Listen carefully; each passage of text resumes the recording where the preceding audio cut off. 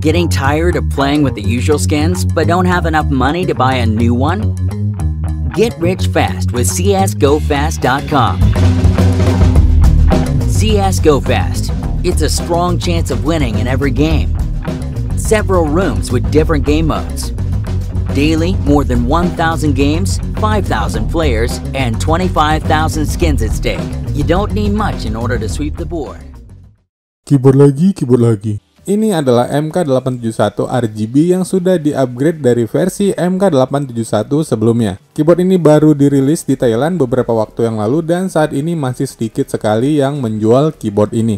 Nampaknya Ventec pun nggak mau kalah dengan kompetitor-kompetitor lainnya yang juga sudah memberikan fitur RGB di keyboardnya. Dengan 10 mode RGB yang pengaturannya juga sama dengan kebanyakan keyboard mechanical low budget lainnya yang berada di tombol function plus insert dan mengubah warna di tombol function plus delete.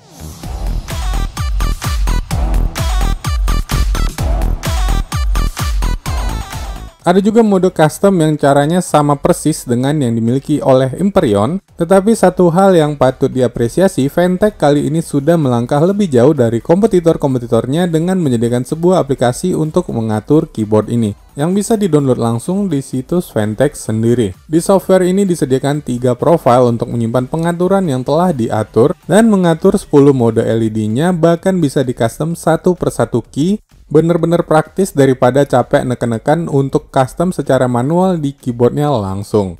Bahkan juga bisa custom keystroke, makro, dan media button jika kalian nggak suka media key yang sudah disediakan di tombol F1 sampai F12. Secara fisik, desain, dan build quality tidak terjadi upgrade perubahan karena build quality MK871 yang sebelumnya juga sudah cukup baik. Bahkan keycaps dengan font sejuta umat ini pun masih dipertahankan. Tetapi satu hal yang sangat aku suka dari Ventec MK871 ini adalah mereka berani memberikan pilihan switch yaitu blue dan brown switch dari Kyle. Ya, brown switch adalah switch favorit aku karena karakter taktil, empuk, dan akuransi yang dimiliki. Switchnya pun sudah di-upgrade yang kini bisa dilepas dan sudah anti air ataupun debu.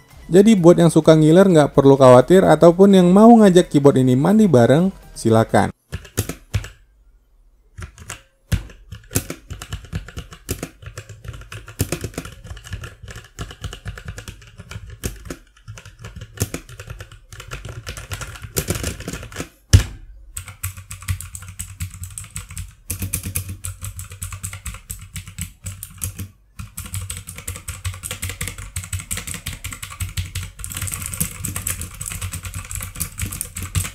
Di paket penjualannya cukup lengkap, ada buku panduan yang tersedia dalam bahasa Indonesia, keycap puller, switch puller untuk melepas switchnya, dan sebuah CD driver yang bisa kalian download langsung dari situsnya.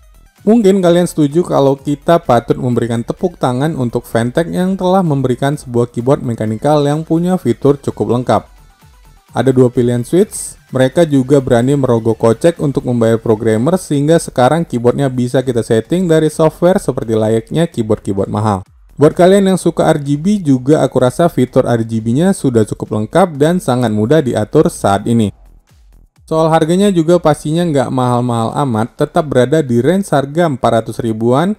Bocorannya sih yang aku dapat 425 ribuan. Satu hal yang tetap menjadi kekurangan sebuah keyboard low budget adalah fontnya yang jelek ini. Entah kenapa mereka semua nggak mau move on dan nggak bosen sama keycaps ini. Semoga ke depannya mereka diberikan kesadaran akan hal ini, tetapi juga tetap mempertahankan kualitas dan memanjakan user dengan fitur-fiturnya yang lengkap. Oke mungkin itu aja, mungkin link keyboard ini bisa kalian temukan di deskripsi video ini. Jangan lupa bantu like, share, dan subscribe biar aku tetap bisa melanjutkan review-review seperti ini. Aku Juax and keep it on the level.